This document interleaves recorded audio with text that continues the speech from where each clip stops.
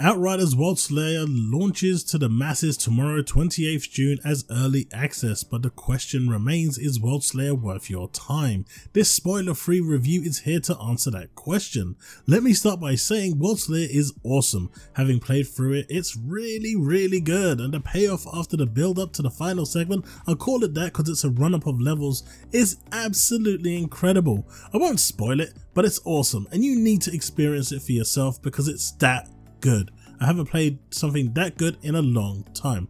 World Slayer is an expansion to the original Outriders and you need to own Outriders in order to play World Slayer. The game starts where you left the first game off at the Pods camp. From here you speak to Channa who will give you the option to start the campaign and go to the new areas, the first area being the Glaciers. It's a new area, one you haven't been to yet, and it's pretty awesome. You've seen it in the actual trailers, and you're seeing it on screen right now. I'm just going to show a few segments here. In terms of footage for this video, I'm only going to be showing the first hour of the game maybe even less than that because I want you to experience the game for yourself. There are some really cool parts to this game. World Slayer is considerably smaller than the base game. The base game had an average 15 to 20 hour campaign and for completionists around 35 to 40 hours of game time, some even took it up to 60 hours. That's not including the endgame of course. Here in World Slayer, it's a story of two halves. This is because if you buy the bundle for the first time, you can skip the main campaign and start at level 30 with all blue gear. So the developers have made it so if you want to start the game straight and play with your friends who are already on World Slayer, they're not forcing you to play through the game and basically get to that point. You can immediately start a character at World Slayer level, it will take you straight to level 30, at which point you can go back and then do the original content again if you want to. It will be somewhat easier, especially now that you've got all your skills and stuff unlocked. But of course you won't have any mods and things like that, so you're still going to be considerably weaker than you know, someone who's played Outriders and has got all the mods and equipment and legendary gear to go with it. Playing the campaign in this state will be harder than someone who has played the main campaign and has all the tools and gear to superpower them. Therefore, the time it takes to complete the campaign will vary from 4 to 6 hours for someone who is fully geared to 6 to 8 hours for those that are not.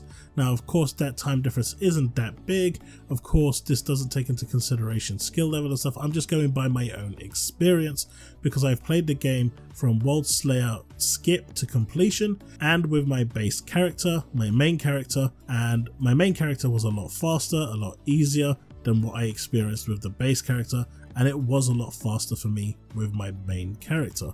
Of course that isn't to scare anyone, the game isn't overly difficult as the new apocalypse tiers that they have introduced do help out here, it does smooth out the levels and make things more balanced but I'm just saying from my own gameplay experience there is a night and day difference in your damage output naturally which goes a long way to making things easier.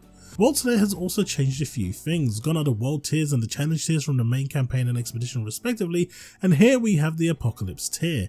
Base game owners will have access to Apocalypse Tier 15, but not to the weapons and gear of World Slayer. Naturally, that makes sense. If you own World Slayer, you can go all the way up to Apocalypse Tier 40.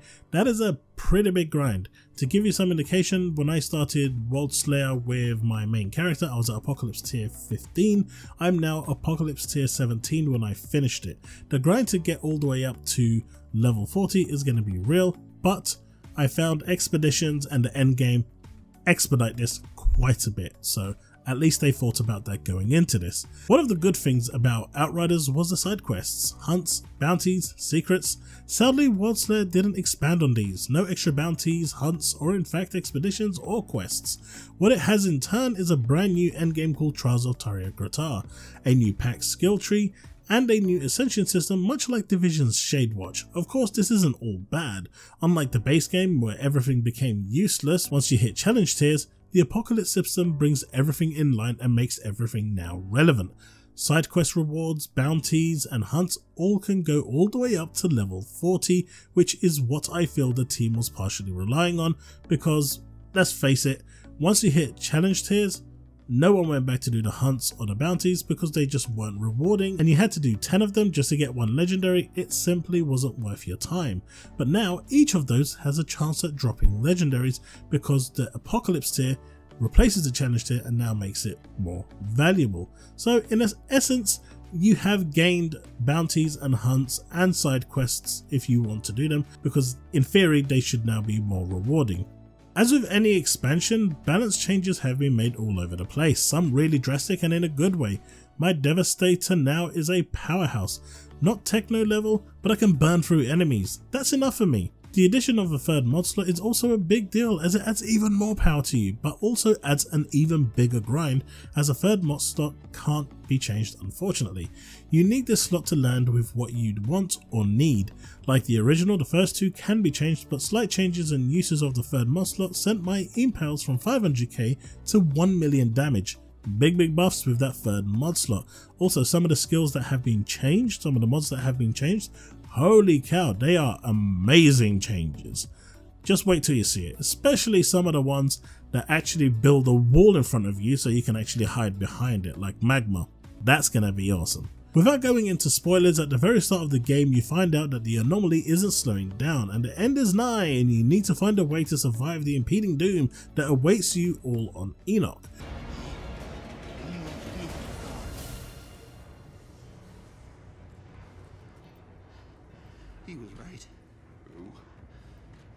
I didn't believe it. But the anomaly, it's growing. Of course, there is the addition of the new villain, Ereshkigal, but I'll let you play through and enjoy the story. It's good. A bit rushed in the end, I felt, which is a bit of a shame and could have been, you know, developed more, but in the end, after completing the campaign, you gain access to the Trials of Tarya Gratar. This is where the endgame begins, and it's damn awesome. It's also still part of the main campaign. So when you finish the main campaign, that's like a chunk of it done, then you get access to Trials of Tarya Gratar, which also kind of extends the story. It's kind of like a extension to what is there. And you need to play this because you pretty much start off here once you finish the main campaign and once you go into this there's loads of dialogue loads of story loads of crazy stuff going on that you really should pay attention to because by the time you complete the end game for the first time you're going to be seeing an ending scene that is going to make you go what the hell wow i want more of this of course trials of Tarya Gratar this is where the end game begins and it's damn awesome it adds targeted loot, multiple chambers of awesomeness and you're rewarded generously for each encounter. It's not a short event. Though you can stop at any time and continue on your return, you have three attempts and upon loss of all three, you are returned to the start of the game area.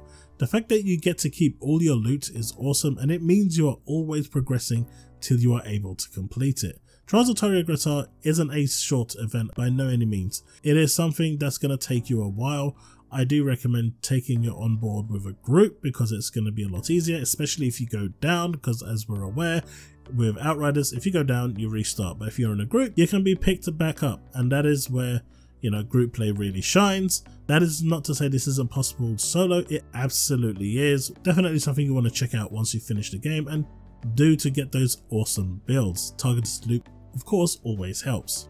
So, is Outriders worth your time? Absolutely, at $29.99 it's a good buy. It's a decent campaign that really only suffers for not being longer and giving you opportunity to flesh out more characters, but at the same time it also makes sense considering the pace of the Anomaly Storm and the way the story is told. Outriders launched with many issues, but New Horizon came to set the record straight and fix those issues and did that and more. Worldslayer just expands on this, providing you with more story, a new endgame, and making content previously made redundant now relevant.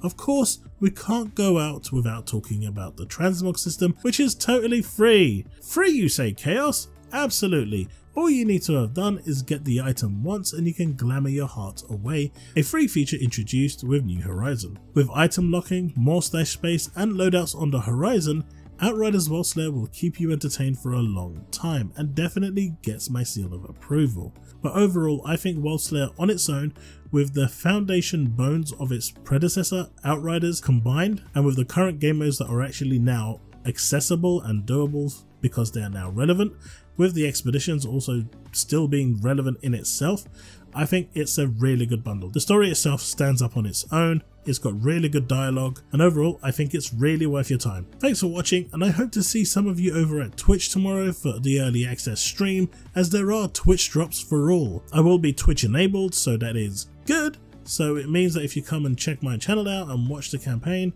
or just lurk around, you're going to get those Twitch drops and everyone is happy. Right everyone, thanks so much for watching and I will see you in the next video. And as always, remain legend.